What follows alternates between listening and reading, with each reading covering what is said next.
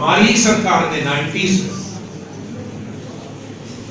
जब नरसिम्हा राव जी प्रधानमंत्री थे, मैं उस कैबिनेट में मौजूद। मैं पार्लियामेंट्री अफेयर्स मिनिस्टर जब हमने ओबीसी के लिए रिजर्वेशन का कैबिनेट में बिल लाया और बाद में पास हुआ रिजर्वेशन ओबीसी को रिजर्वेशन नौकरियों में मिले। इसी तरह से एस सी एस टी की हमने फाइनेंस डेवलपमेंट कॉर्पोरेशन बनाए बाद में ओबीसी के लिए फाइनेंस डेवलपमेंट कॉर्पोरेशन बनाए इसी तरह से स्कॉलरशिप एडमिशन होना, लेकिन एडमिशन काफ़ी नहीं था दलित के एडमिशन काफ़ी नहीं था स्कूलों और यूनिवर्सिटीज में कॉलेजेस में।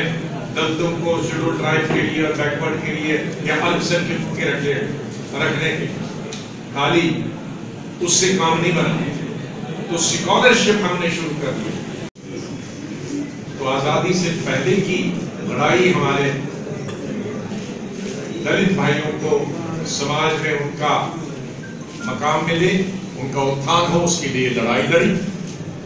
और जब पंडित जवाहरलाल नेहरू की स्वतंत्र भारत में सरकार बनी तो सबसे पहला काम जो हमारे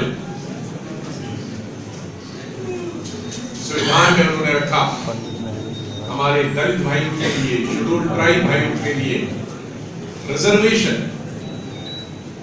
नौकरियों में रिजर्वेशन पार्लियामेंट में रिजर्वेशन रिजर्वेशन विधानसभा में रिजर्वेशन ये इससे उत्थान होता।